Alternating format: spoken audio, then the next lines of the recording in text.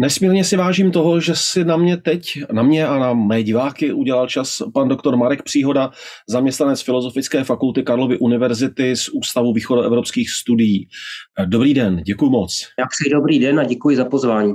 Ukrajina je téma, kterému se věnujete už delší dobu, je to tak? Ano, přesně tak. Vlastně e, moje profese hlavní je rusista a historik, ale v rámci vlastně slavistiky jsem studoval i ukrajinštinu a na Ukrajinu jsem pravidelně jezdil.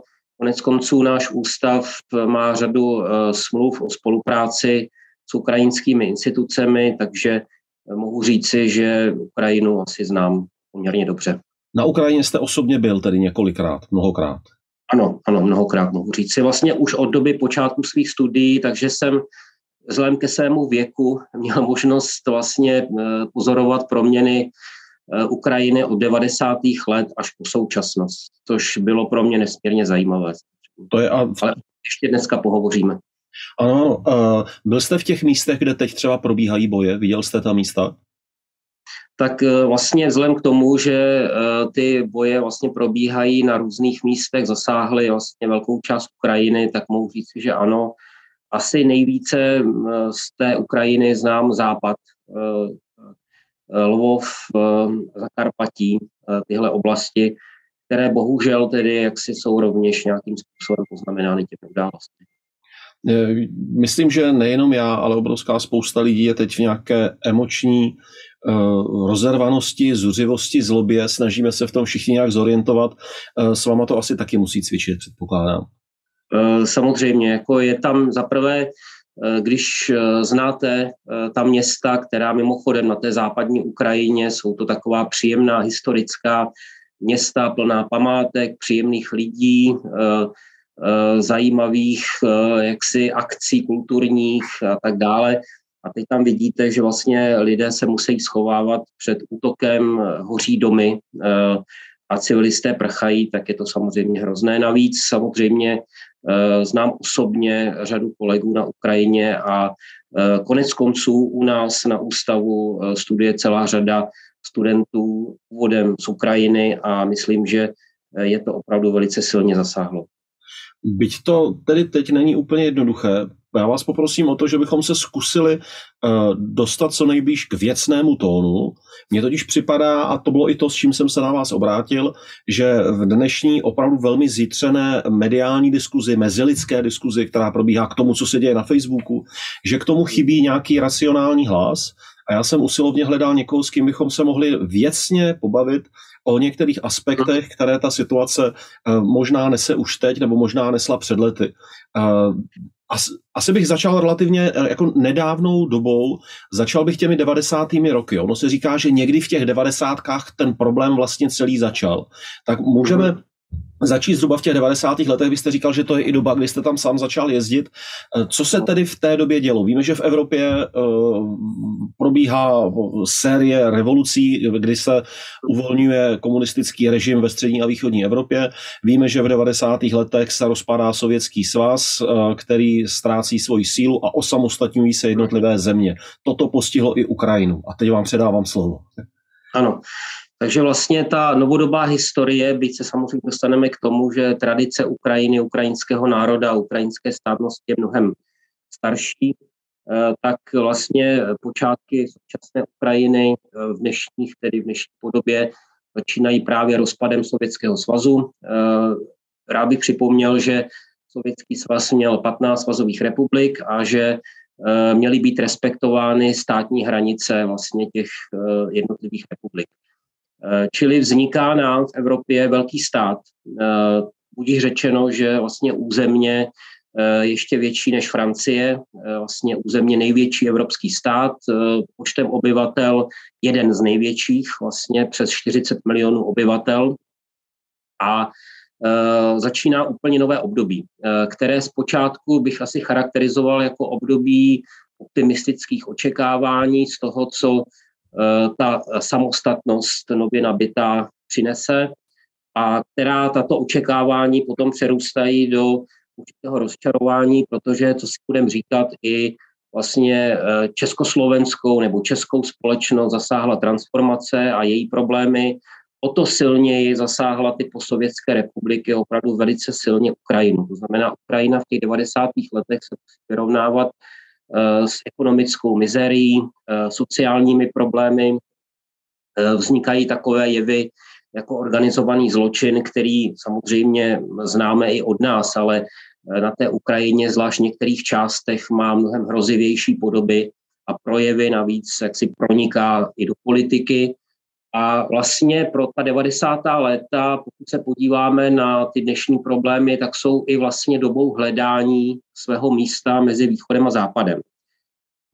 90. Eh, léta jsou především spojena s osobou eh, prezidenta Leonida Kučmy, který měl jednu tezi pro zahraniční politiku Ukrajiny a to je mnohovektorovost. Tedy co to znamená, že by Ukrajina se neměla jednoznačně orientovat vlastně ani na východ, ani na západ, a měla by vlastně využívat toho svého postavení eh, důležitého jako spojnice nebo mostu mezi východem a západem a měla by vlastně těžit z dobrých vztahů i se západem, i s východem. Což mimochodem v 90. letech se prezidentu Kučmovi do značné míry dařilo. Eh, Eh, byly překonány některé problémy, které byly dány minulostí ve vztazích s Ruskem. Připomínám, dneska se to zdá neuvěřitelné, ale eh, byla vyřešena otázka hranice. Rusko vlastně uznalo eh, státní hranici Ukrajiny, včetně Krymu, připomínám, ve státní smlouvě.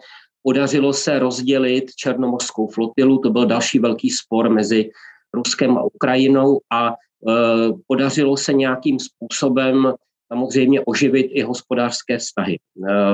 Eh, tahle ta možnost pro Ukrajinu jakéhosi lavírování, využívání eh, té pozice mezi východem a západem eh, končí potom s nástupem prezidenta Putina, který v jistém okamžiku postavil před Ukrajinou nutnost si zvolit. Tedy už něco takového nebylo možné. Eh, do té doby se také datuje debata nad eh, jadernými zbraněmi na území Ukrajiny a nad vůbec eh, tou pozicí Ukrajiny mezi jadernými mocnostmi. Jak to prosím bylo? Ano, to je zajímavá otázka, která dodnes, pokud se podíváme na ukrajinská média, na vyjádření ukrajinských politiků, tak ku podivu dodnes je živá. Hned vysvětlím proč vlastně Ukrajina tím, že vlastně se vyčlenila ze Sovětského svazu a připomínám, Sovětský svaz se hlavně chystal na válku se Západem, tedy byl velký zbrojní potenciál rozmístěn právě v těch západních oblastech, tedy mm-hmm. na území dnešní Ukrajiny právě i Běloruska, tak eh, vlastně tím eh, vznikem samostatné Ukrajiny se Ukrajina eh, stala vlastně svým jaderným potenciálem třetí jadernou mocností na světě.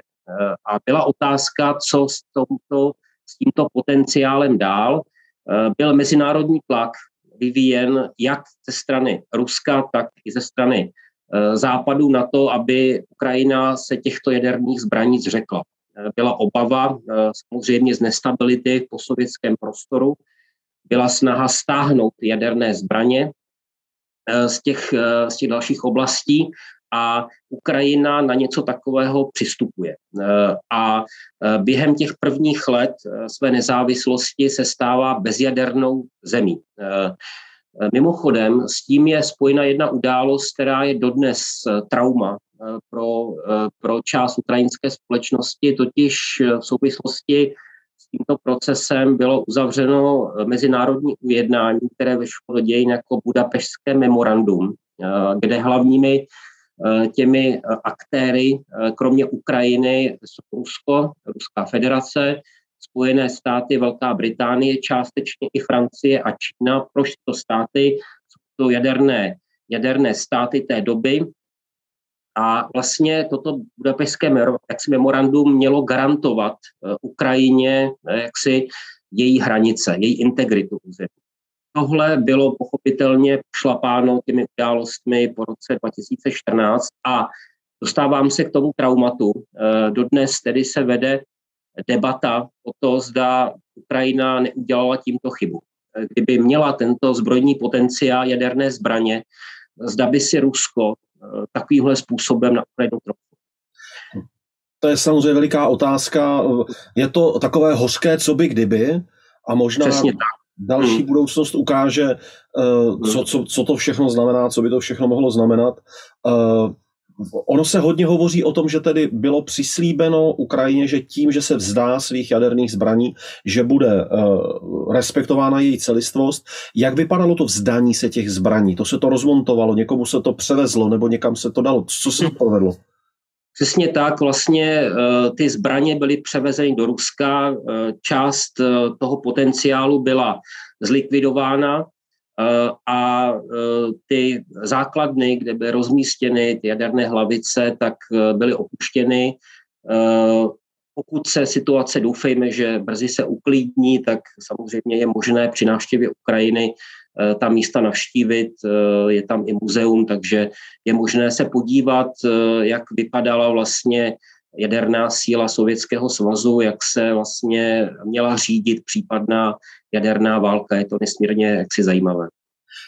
V těch diskuzích, které zaznívají v dnešní době, ta strana, která většinou uh, horuje pro Rusko a pro kroky Putina, uh, tak se opírá o to, že říká, že Západ přislíbil Gorbačovovi, že se nebude ani Evropská unie, ani na to rozrůstat směrem na východ. Existuje hmm. proto také nějaké memorandum, je proto nějaká prostě historická datová, já nevím, základna? To myslím eh, zase na rozdíl od jasných závazků zde daných Ukrajině, eh, Tohle je samozřejmě zbožné přání, nic takového jako písemný dokument, eh, si potvrzující nerozšiřování na to neexistuje. Když se vrátíme ovšem do těch 90. let, tak přece jen to není úplně tak jednoduché. Za prvé v té době, kdy vlastně padá železná opona, tak je doba optimistických očekávání. Eh, my někdy máme tendenci pohlížet na tu historii eh, vlastně očima dneška. Jo? Kam jsme dospěli dnes, máme tendenci přenášet tyhle ty naše představy do minulosti. Nicméně svět se měnil velice rychle a eh, ten počátek 90. let v těch mezinárodních stazích byl optimistický, dokonce připomínám tehdy ideu československého prezidenta Václava Havla, o tom, že by se měly rozpustit eh, vojenské bloky úplně. Eh, to byla jedna idea, eh, že by tedy po konci Vašavské smlouvy mělo skončit i na to, že jeho role vlastně tím pádem železné opony, těmi demokratizačními procesy ve střední a východní Evropě vlastně končí. To, co nastupuje dál, je vlastně vývoj v Rusku, kdy vedle eh, Borise Jelcina, který eh, vystupuje jako reformní prezident, jako stupenec nějaké demokratické cesty, tak v ruské politice v těch prvních volbách vlastně po roce 91 vítězí buď tedy komunisté nebo liberálně demokratická strana Vladimíra Žirinovského.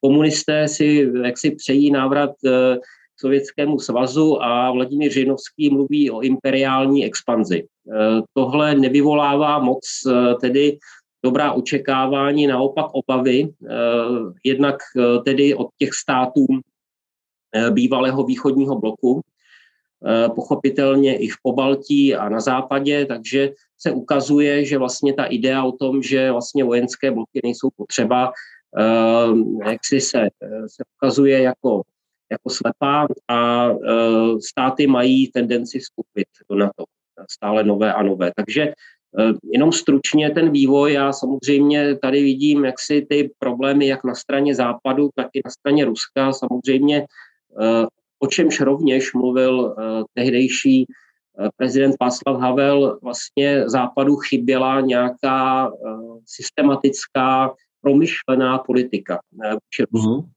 Západ tehdy jak se zdálo, nemá silné osobnosti, které jsme viděli třeba v době studené války, které by nabídly eh, Rusku eh, nějaký, nějaký třeba program jaksi spolupráce a tak dále. Eh, mysleli jsme si, eh, že tak nějak jako Rusko si s těmi problémy poradí jaksi samo, eh, a eh, bohužel v Rusku se vrátily jaksi síly, které uvažují o návratu mezi eh, jaksi, eh, prostě velmoci a eh, obnovení sféry vlivu nejen ve východní, ale jak vidíme tedy i střední Evropě. Konec konců Vladimír Putin sám několikrát hovořil v souvislosti, že mu připadá, že situace by se měla vrátit do rozdělení světa po roce 45 A že vlastně ta myšlenka toho, že kam vstoupila noha ruského vojáka, tam by také ruský voják měl zůstat, je pro něj stále ještě živá. V jeho retorice to zaznívá opakovaně.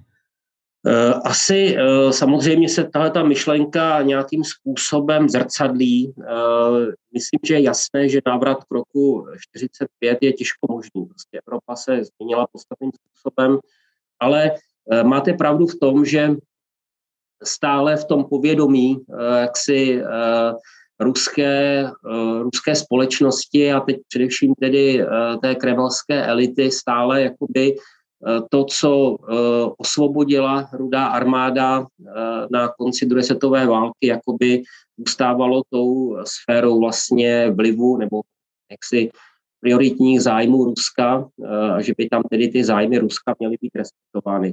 Eh, Mnohem silněji tahle ta myšlenka, myslím si, spíš než tedy eh, ta eh, zóna osvobození v roce 45 spíše zní směrem k tomu posovětskému prostoru. Jo, těm Mhm. malým republikám Sovětského svazu. A to myslím, že Rusko opakovaně vlastně i ve svých bezpečnostních dokumentech definuje skutečně jako sféru svého dominujícího zájmu a opravdu nechce, aby tam, aby tam někdo jiný vstupoval. Otázka je, co na to říkají ty bývalé republiky Sovětského svazu.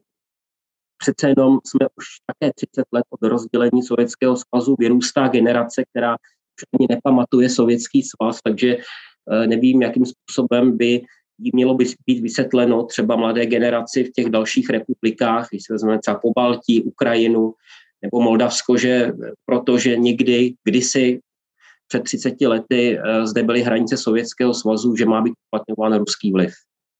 Eh, Já eh, si cením toho, jak vy se držíte té ukrajinské tematiky, ale dovolím si jeden úkrok. Vy jste zmínil tu problematiku, že jaksi chyby jsou i na straně západu. Já jsem četl Hmm. některé knihy o Vladimíru Putinovi a občas se tam zmiňuje téma, že vlastně Západ si byl tak jistý svou pozicí, že když Putin nastoupil na své místo, tak vlastně měl problém najít partnera, který by ho vzal skutečně vážně a že vlastně si ho tak jako eh, západní představitelé jako nevážili, když to řeknu kulantně.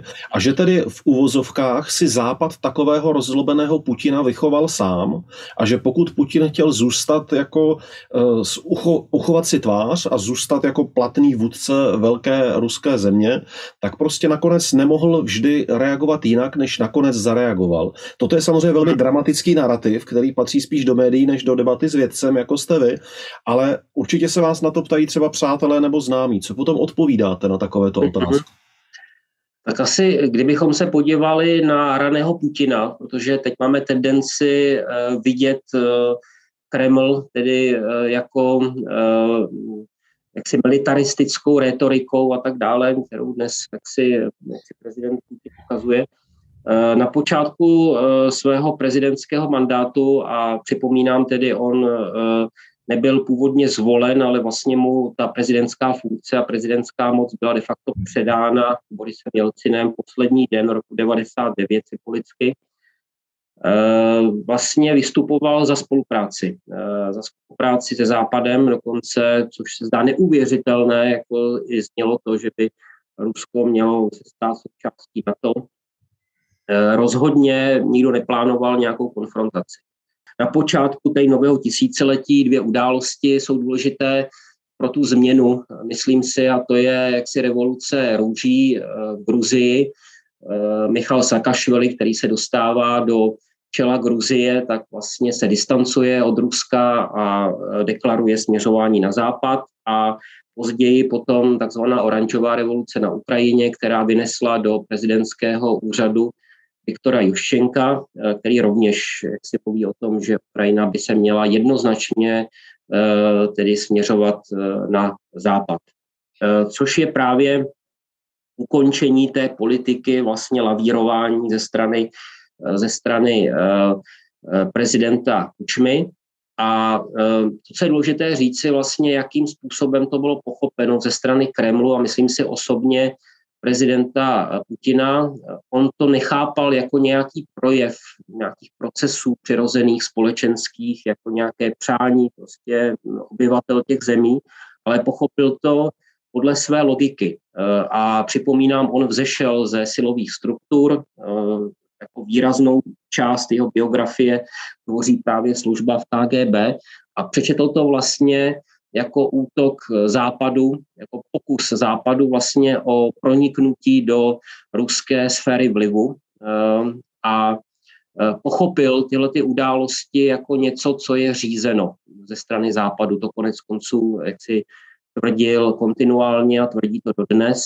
A konec konců takhle pochopil i události na Ukrajině na přelomu let 2013-14, označované jako druhý Majdan nebo jako revoluce cti, které právě svrhly eh, Viktora Janukoviče, eh, který jaksi příznivě vystupoval vůči Rusku a naopak tedy přivedli k moci eh, elitu, která jednoznačně směřuje Ukrajinu směrem na západ. Takže myslím si, že se prolínají tady dvě věci, abych to nějakým způsobem schrnul jednak nějaké objektivní události, které tam vidíme, ale zároveň, myslím si, jaksi um, nějakou pomílenou interpretaci. Jo, vlastně uh, Rusko takhle vidí osud uh, těch, a prezident Putin, uh, osud těch menších zemí. Jo, tedy on vidí ten svět tak, že existují nějakí silní hráči, de facto uh, jsou to především Spojené státy a Čína, a ty malé země které eh, nejsou úplně plnohodnotné v tom systému mezinárodních vztahů a vlastně jsou do značné míry jejich osudy určovány zájmy těch velkých hráčů. Eh, to vidíme třeba i na tom, že opravdu Rusko i těmi událostmi z poslední doby Kreml si vynucuje jednání právě se Západem a především se Spojenými státy. Tedy ta představa o tom, že o osud světa rozhodují mocní a Rusko by mělo být jedním z těch mocných. To je, myslím, asi to, co by si přál prezident Putin, aby tedy se s ním jednalo jako uh, jaksi srovnoceným partnerem při určování nějakého globálního pořádku. To je výborná poznámka, co jste teď pronesl, protože uh, Ono to často v těch, v těch uh, prohlášeních jako vysí, tak jako v druhém plánu nevyřčeno, ale máte pravdu, že vlastně veškerá retorika Vladimíra Putina mě připadá, že opravdu vždy vychází z toho, že prostě svět se rozdělují silní hráči a všechny ostatní státy se dělí podle toho, v jaké sféře vlivu jsou, komu podléhají a koho musí poslouchat. A tomu hmm. pak i směřují případně i ty dezinformační eh, jako vyprávěnky, které chtějí říkat, že vlastně my jsme buď teda noh sledi Ameriky, nebo noh sledi Ruska, nebo noh sledi Číny, či kohokoliv, ale vůbec se tam neobjevuje, že bychom snad mohli být svéprávným státem, který by si hmm. mohl o něčem rozhodovat sám. Toto tam vlastně vůbec přítomné není. Já bych možná i k tomu našemu tématu dodal eh, jednu věc, na kterou jsem nedávno, když jsem připravoval eh, své veřejné přednášky, tak o Rusku, jsem narazil, eh, když mluvíme o té změně názoru Vladimíra Putina na vztahy se Západem, tak jsou zmiňovány dva momenty klíčové. Prvním z nich je takzvaná mnichovská řeč, kterou pronesl Vladimír Putin na počátku roku 2007 na bezpečnostní konferenci v Mnichově, kterou si vybral proto, aby vlastně eh, Západu sdělil jaksi své rozhořčení z toho, jakým způsobem především Spojené státy se mezinárodní politice chovají. A druhým tím momentem je tzv. valdajská řeč, což už je podzim roku 2014. A právě v té druhé Putinově řeči jsem zaznamenal zajímavý termín, když teda popisoval to, jak eh, vlastně Spojené státy, jak se vystupují eh, vůči ostatním zemím a jak se chová Západ, tak použil krásný termín, tedy eh, Spojené státy a jejich satelity. Jo, takhle, on vidí, takhle on vidí západ. Jo, nevidí to jako nějaké prostě různorodé zájmy, ale vidí tam tu dominanci Spojených států a vlastně všechny státy vlastně západní, a to včetně těch eh, jako silných hráčů, označuje de facto označil za satelity Spojených států. Já myslím, že eh, tahle slova, která tam pronikla, myslím si, že to není jenom nějaká jaksi pustá retorika, ale že opravdu to odráží jeho pohled na svět, který bohužel, to musíme říct nějakým způsobem, prostě se posunuje horšímu. Eh, Děkuji moc za, za to, že jste připustil tuhle odbočku. Vrátím se zpátky do Ukrajiny. A jak jste hovořil o těch 90. letech a o tom, jak byl tlak opravdu celého světa, nejen Ruska, ale i západního světa, aby se Ukrajina zřekla svého jaderného potenciálu a svých jaderných zbraní, nejen potenciálu, ale zbraní, které tam zůstaly po rozpadu Sovětského svazu, tak jsem si vzpomenul, že vlastně já tehdy Eh, jsem si hodně oddechl, když se eh, na Ukrajině rozhodli, že se vzdají svých jaderných zbraní, protože jsem hmm. tehdy Ukrajinu opravdu velmi vnímal jako nestabilnou a potenciálně nebezpečnou zemi s těmi mafiemi a s těmi oligarchy. A on se eh, vlastně o to opírá i Vladimír Putin ve své současné retorice, kdy říká, Ukrajina není řízena politicky, není řízena uh, parlamentně, je řízena soustavou oligarchů. Hmm. Je to tak? No, já bych především dodal, asi narážíte na uh, ten jeho teď mnohokrát citovaný uh, takový bojový projev o Ukrajině, kdy tedy jak si se vyjádřil k těm problémům velice ostře. Eh, já musím říci, a to je fakt, že kdybychom tam odřízli z toho projevu slovo Ukrajina a nechali tam ty všechny problémy, o kterých prezident Putin mluví, tak bychom řekli, že vlastně kriticky hodnotí situaci své vlastní země, protože to, co tam zmiňuje, ty sociální problémy, ekonomické problémy, problémy jaksi oligarchie, tak eh, to myslím je, se hodilo krásně i na Rusko. Eh, ovšem s tím rozdílem podstatným, eh, a to samozřejmě prezident Putin nezmíní, já to zmíním místo něj, je to, že přece jenom tedy Ukrajina je sice jaksi demokracií s problémy, ale přece jenom demokracií, kde sice jaksi je vliv oligarchů, kde společnost má řadu problémů a tak dále, nicméně přece jenom fungují nějaké demokratické mechanismy. Mm. Tedy od jisté doby můžeme mluvit o ukrajinských volbách jako o svobodných. Nedochází tam k manipulacím eh, tak zjevným jako eh, právě v Rusku, ty jsou doložené. Eh, přece jenom je otevřená do značné míry politická soutěž. Je samozřejmě jaksi limitována tím vlivem oligarchů a to, že vlastně média na Ukrajině vlastní oligarchové, ale podle mě je to lepší model, než ten ruský, kde média kontroluje stát a Kreml. Jo, takže přece jenom to umožňuje nějaký, nějakou společenskou diskusi, konfrontaci různých názorů a tak dále.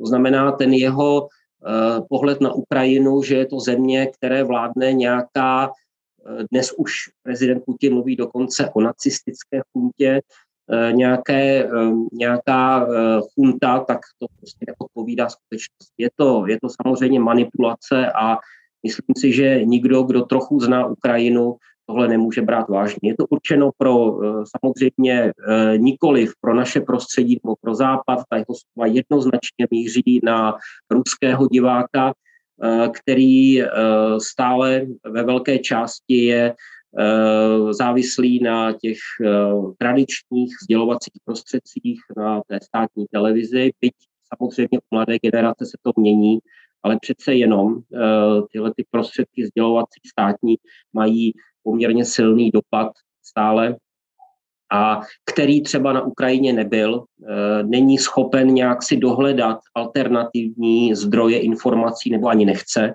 uh-huh, a bude, bude tomu věřit. Ale myslím si, že to není rozhodně názor většiny ruské společnosti na Ukrajině. Dobře. E, vy jste se dotkl, když zůstáváme v těch moderních dějinách a teď opravdu téměř bezprostředních událostech, e, vy jste se dotkl těch událostí na Majdanu. Eh, hmm. Je možné to na ploše několika málo minut alespoň trošičku rozpléct. Ten moskevský narrativ tedy je, to je ukázka toho, jak Západ se vměšuje do událostí v nezávislé Ukrajině a jak na nás tlačí prostřednictvím uh, začlenění Ukrajiny do NATO a do, do Evropské unie. A my ostatní říkáme, co to je za hloupost. To bylo prostě hnutí, které si zorganizovali nebo které eh, vzešlo eh, přímo z ukrajinského prostředí. Dá se to nějak rozpléct, rozmotat? Eh, já se o to pokusím. Musím říct, že to je těžký úkol, protože samozřejmě musíme i trochu zohlednit to, jak se Ukrajina vyvíjela několik let předtím, protože ty události nevznikly ze dne na den. Ty měly své nějaké hlubší kořeny. Eh, pokud mluvíme mimochodem o eh, Majdanu na Ukrajině, tak je potřeba si teď ujasnit, protože existuje takzvaný první Majdan a druhý Majdan. Jenom možná pro diváky bych vysvětlil ten, ten termín, nevím, úplně, nevím, jestli úplně znám. Eh, Majdan vlastně označuje náměstí velké v Kijevě, kde právě probíhaly ty hlavní demonstrace. Majdan nezáležnosti, tedy náměstí nezávislosti v centru Kijeva, od tuto pojmenování tedy Majdan. Eh, Majdan číslo jedna, to byly ty události tzv. oranžové revoluce v prosinci roku 2004. A druhý Majdan tedy je z události přelomu let 2013-14, na které se asi ptáte. Vlastně jsme v době prezidentství Viktora Janukoviče, který, a to je potřeba říci, byl zvolen právě ve volbách, které můžeme označit za svobodné v roce 2010, zvolen prezidentem. Nicméně musíme dodat, byl zvolen těsnou většinou.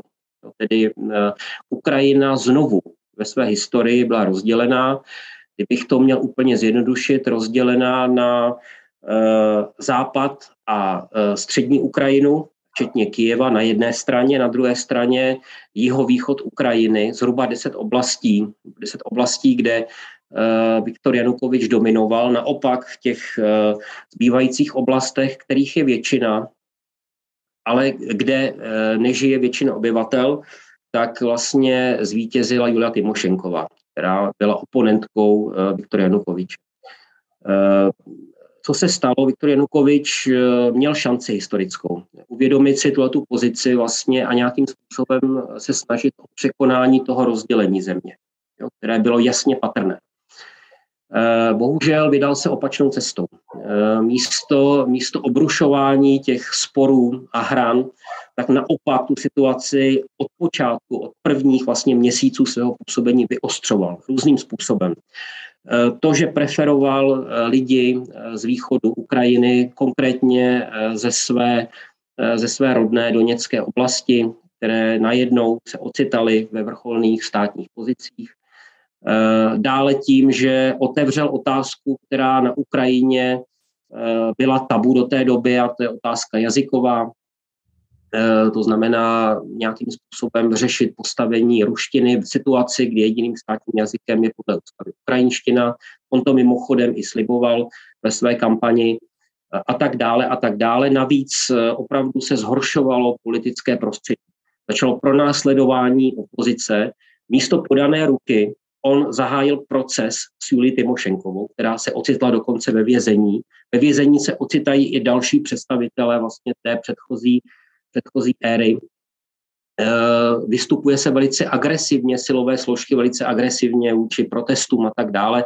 Eh, tohle všechno vede k tomu, že jednak na jedné straně Viktor Janukovič eh, ztrácí popularitu, obecně na druhé straně to vyostřuje vlastně to rozdělení společnosti a zvyšuje to protestní nálady což je doloženo průzkumy veřejného mínění, roste, jinými slovy, roste ochota lidí znovu být na ulice. Mm-hmm. Do toho přichází událost, která byla, myslím, roznětkou, ne tou hlavní příčinou, ale roznětkou, protože ta část společnosti, která nesouhlasila s tím, jak vládne Viktor Janukovič a nesouhlasila s jeho, s jeho politikou, tak vlastně spojovala své naděje s tím, co sliboval sám Viktor Janukovič, a to je zbližování s Evropskou uní. Mm-hmm. On rozehrál hru, která se pro něj stala osudnou právě eh, ve stylu poněkud tedy Lonida Kučmy. Jiný, jednak dával najevo, že chce eh, jak si vystupovat vstřícně vůči Moskvě, eh, ale zároveň sliboval i pokračování to je zajímavé evropské integrace, kterou zahájil jeho předchůdce Viktor Jušenko. Eh, tyhle ty naděje byly potom evropské, byly spojovány s podpisem asociační smlouvy, ke které mělo právě dojít na podzim roku 2013 ve Vilniusu.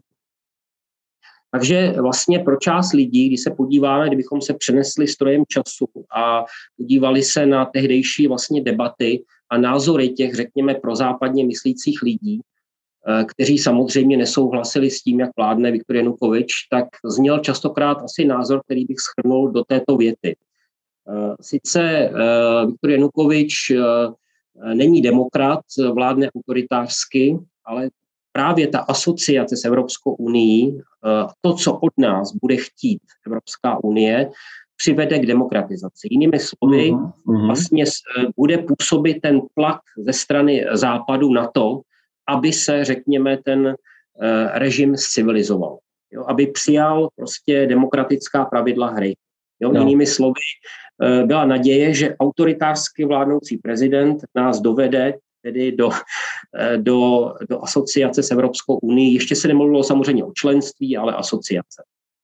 S tím samozřejmě byly spojeny některé zákony, které by opravdu znamenaly zlepšení toho politického klimatu na Ukrajině. Tyhle ty naděje končí, protože eh, administrativa ukrajinská oznamuje, že eh, smlouva o asociaci nebude podepsána.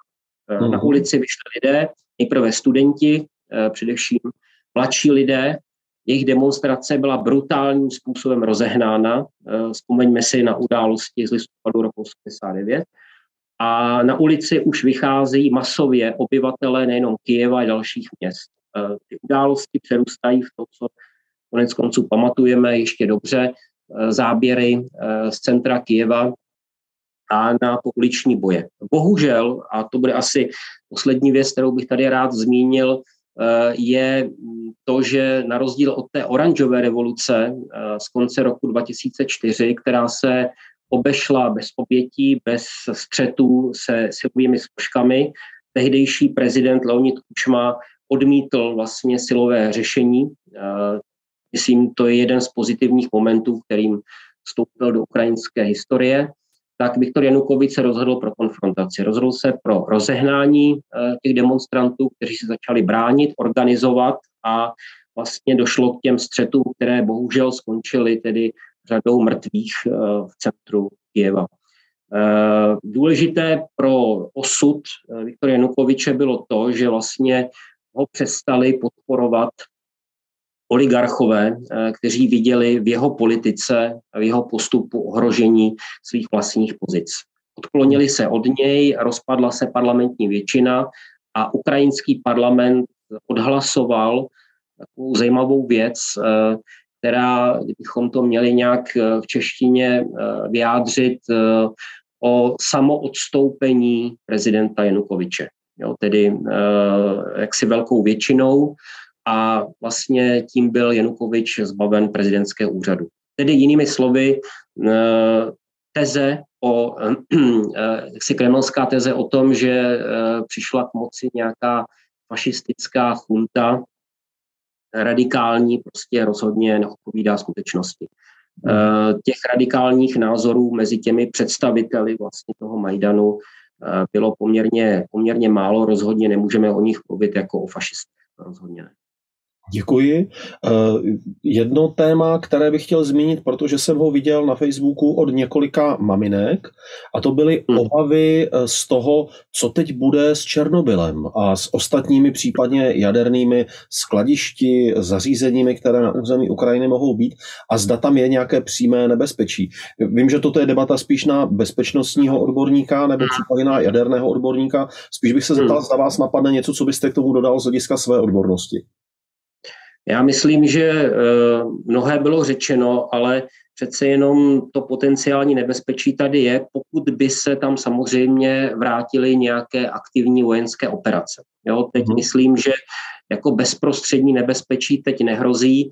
Já problém vidím v tom, kdyby eh, eh, se pokusila ukrajinská armáda o protiútok a probíhaly tam nějaké boje s použitím právě těžkého dělostřelectva nebo prostě raket, ale opravdu nad tím, nad tím Černobylem, nad tím reaktorem eh, stojí ten obrovský sarkofág. Takže já doufám, že eh, je schopen něco vydržet. Zároveň samozřejmě chápu, že pro mnohé to může být zdrojem nejistoty, ale myslím si, že těch zdrojů nejistoty a to, čeho bychom se měli obávat, je vícero. Eh, že kromě toho Černobylu samozřejmě jsou, myslím si, mnohem závažnější věci. Například? Eh, například rozhodně eh, vidíme, že se, že se ruská armáda přibližuje k velkým ukrajinským městům. Z toho já mám obavu. Jo? Tedy jakým způsobem, prostě pokud se Rusko nezastaví, a vypadá to, sledují neustále informace, vypadá to, že se zastavit nechce, eh, jak si retorika eh, Kremlu se nemění, eh, tedy to, jak bude vypadat dobývání ukrajinských měst. Kdybych to měl schrnout, co vidíme dnes, samozřejmě ruská armáda, jak se očekávalo díky své převaze a momentu překvapení vlastně postoupila, zabrala část ukrajinského území, ale je potřeba říci, že vlastně nepadlo dosud, tedy žádné velké ukrajinské město. Ta ruská armáda se svojí technikou se přibližuje. Teď vidíme, sledujeme boj o Kijev, který bude asi hlavním tématem, ale mimochodem ruská armáda stojí na Prahu dalších velkých měst. Já mám opravdu obavu velkou, tedy co by nastalo, kdyby ta města měla být dobývána.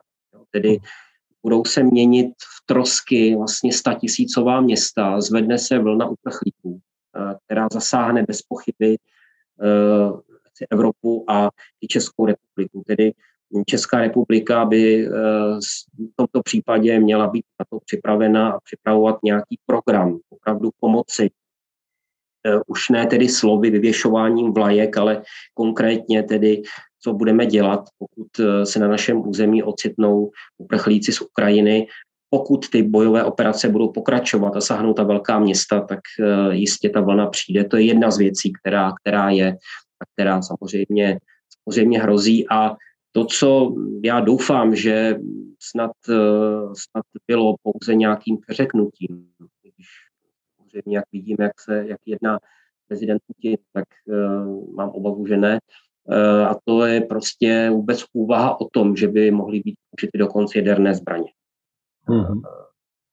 Při nějakém vyostření toho konfliktu. Jo, tedy to je mimochodem něco, co já myslím, ještě, už ještě překonává vlastně uh, dobu nějaké studené války, uh, kterou já ještě pamatuji, tedy 80. léta, kdy jsem vyrůstal v té představě vlastně o tom, že hrozí něco jako jaderná válka, zničení světa, kdy poletí rakety.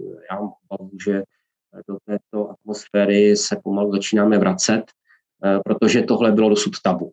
Mm-hmm. Tedy samozřejmě i použití těch konvenčních zbraní a Rusko disponuje tedy obrovským vojenským potenciálem, o tom není sporu. Eh, vlastně může srovnat se zemí eh, celá, celá města Eh, zároveň tedy ty jaderné zbraně, to je hrozba jaksi jiného, jiného typu. Já doufám, že tohle, tohle téma už se neobjeví. Jako v rámci úvah. Já tady tu děsivou otázku v tuto chvíli nechám otevřenou. Eh, co se týká eh, civilních obyvatel ve velkých městech na území Ukrajiny, tam budeme znát odpověď pravděpodobně v nejbližších dnech. Eh, toto téma tedy teď nechám otevřené a naopak bych se vydal do vzdálenější minulosti Ukrajiny. A zase bych se odpíchnul od té bojové řeči, od toho proslovu eh, Vladimíra Putina, že Ukrajina v podstatě není žádný stát, to vlastně nikdy pořádně neexistovalo a až Sovětský svaz eh, a tím, že sám sobě ukrojil své území, umožnil Ukrajincům, aby vůbec nějak jako začali existovat, tak je to tak samozřejmě, Ukrajinci, těch 40 milionů lidí na tom území, to je taková náhodně poskládaná parta Rusů, eh, která dostala vlastní hranice, alebo to snad je jinak? Eh, přesně tak, jak říkáte, eh, ta řeč je řeč ideologická, je to řeč člověka, který čerpá své znalosti z historie jednak z nějakých jaksi trosek sovětských učebnic, plus tedy na to naroupovaný ruský nacionalismus. Je taková zvláštní směs. Eh, eh, mimochodem, která ovšem má své hlubší kořeny, protože já myslím, že si prezident Putin, jak jsem říkal, jeho názory eh, nezdílí většina ruské společnosti, tak přece jenom naráží na nějaké takové podceňování vlastně Ukrajinců jako národa samostatného, že vlastně, jestli opravdu je to samostatný národ plnohodnotný, zda ukrajinština je samostatný jazyk, eh, nebo zda tedy ukrajinský stát je tedy plnohodnotným státem. Takže takové to, takové to takový ten přezíravý, přezíravý pohled na Ukrajinu na jedné straně, na druhé straně přeceňování role Ruska, ruské kultury a ruštiny právě při formování Ukrajiny. To je další vlastně, když se tady ty dvě věci potkají, tak výsledkem jsou Eh, podobné, omlouvám se za slovo bláboli, eh, a eh, představy, které prostě jsou vytvářením nějaké, nějaké účelové mytologie, které mají uspravedlnit současnou, současnou agresi. Pokud k tomu, tak samozřejmě Ukrajinci především asi, co bych chtěl zdůraznit, jako národ prošli procesem národního obrození, které má své zvláštní rysy, ale které v mnohem připomíná ta národní obrození, která proběhla u menších národů, a to nejenom slovanských, ale i u dalších, tedy národů evropských, tedy ta dynamika, ty projevy vlastně toho procesu jsou, jsou mnohem jaksi podobné. Sformoval se, sformovala se identita ukrajinská, která se opírá o svůj historický narrativ. A samozřejmě je tady ukrajinština, která se liší od ruštiny, není to skažená ruština, Eh, já na tohle to mám jeden argument, eh, stačí tedy jak si pustit ukrajinštinu, eh, nikoliv nějakou jazykovou směs mezi ruštinou a ukrajinštinou, ale skutečně tu správnou ukrajinštinu jak si Rusům a nebudou ji rozumět. Jo? Tedy mhm. pokud nebudou mít filologické vzdělání nebo nebudou umět další slovanské jazyky, tak eh, prostě je to něco, co se musí překládat. Jo. Je taková, taková dobrá poučka pro filologa, jo, když máme ty rozhodovat, zda jazyky jsou si nějak hodně blízké, nebo dokonce je to jeden jazyk, zda se musí překládat v případě, že eh, se ukrajinština objevuje někde eh, jaksi v ruských zprávách, tak se musí vždy překládat. Jo? Není, není to jazyk, který by byl automaticky srozumitelný. A pochopitelně ten argument s tou státností, jo, tedy kde vidíme ukrajinskou státnost v minulosti. Eh, s touhletou logikou bychom museli ovšem jaksi popřít existenci eh, hned několika evropských států, zvlášť v tom prostoru střední a jihovýchodní Evropy, protože bychom se taky mohli ptát, kde je, kde je nějaká třeba slovinská státnost a tak dále. Můžu uvádět další příklady, konec konců Slovensko a tak dále nějaké dávné minulosti. Je jasné, je jasné, že eh, se hranice během historie měnily, eh, že eh, se málo kdy stane opravdu historii, že kontinuálně existuje státní útvar s nějakým jedním názvem a s jedním centrem.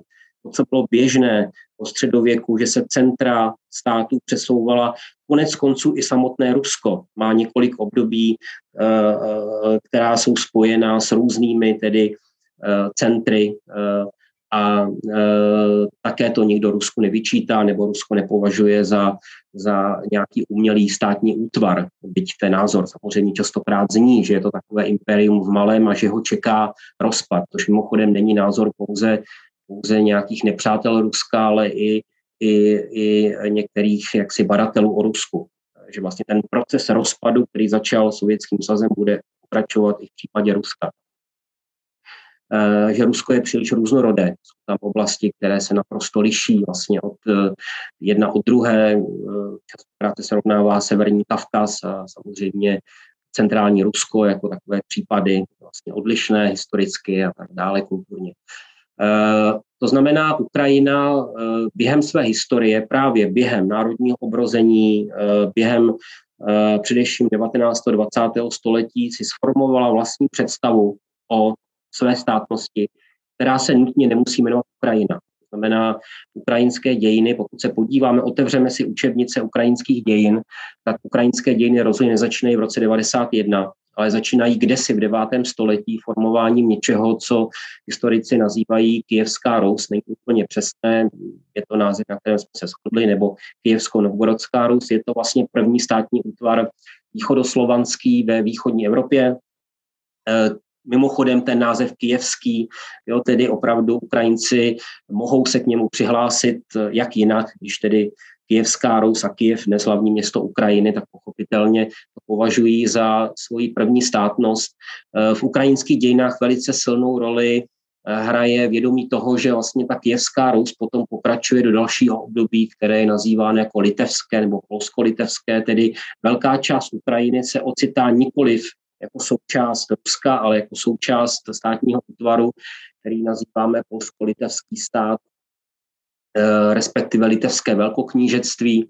A později těmi nositeli té ukrajinské myšlenky ukrajinské státnosti a ideje ukrajinské kultury se stávají kozáci, což je taková výrazná ukrajinská reály, ke které se Ukrajinci hlásí. Kozáci jsou i reálí ruskou, ale pro Ukrajinu hrají klíčovou roli právě jako nositelů nějaké státní ideje, jako eh, obránců ukrajinské kultury, mhm. jako obránců pravoslaví. A poté, eh, co kozáci vlastně jaksi eh, nám mizejí z dějin, tak nastupuje to, co jsem už, o čem jsem už mluvil, tedy ukrajinské národní obrození, kdy mimochodem v 19. století se formuje nejenom představa o tom, že existuje jaksi samostatný ukrajinský národ, že jsou ukrajinské dějiny, které jsou odlišné od těch ruských, ale zároveň se někdy na konci 19. století a na počátku 20. století rodí i idea samostatného ukrajinského státu. Tedy ten proces vrcholí tím, že se rodí představa o tom, že by měl být zřízen samostatný ukrajinský stát.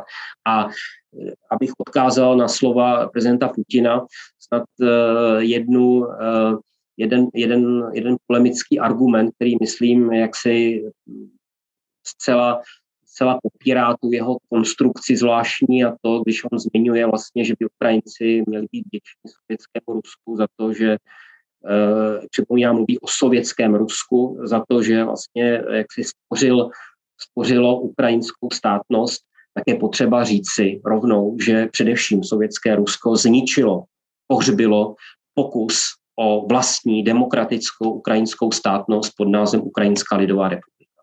No to samozřejmě prezident eh, Putin buď, eh, buď neví, nebo eh, nechci ho podezírat z takové neznalosti, ale účelově už svým obyvatelům neřekne. Pane doktore, já vám mnohokrát děkuji za tento uh, jakoby základní exkurs do ukrajinské problematiky. Uh, já bych nesmírně stál o to, myslíte, že byste si našel třeba ještě čas? Je řada témat, která jsme v souvislosti s mhm. Ukrajinou v tuto chvíli pominuli. Když jsme se bavili o osobnosti prezidenta Putina, myslím si, že třeba věnovat určitý čas té jeho cestě a té jeho kariéře na pozici šéfa Ruska by si mhm. také zasloužilo pozornost. Myslíte, že byste si někdy v následujících dnech třeba našel ještě čas?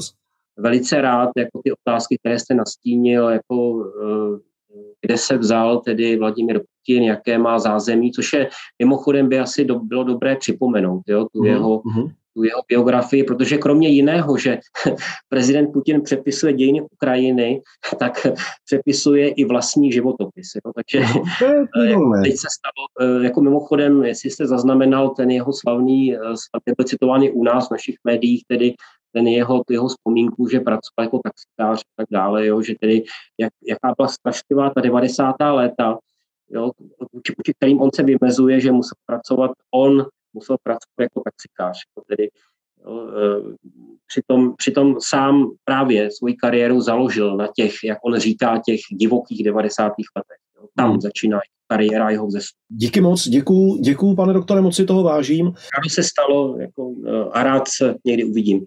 Děkuji, buďte zdrav, nashledanou.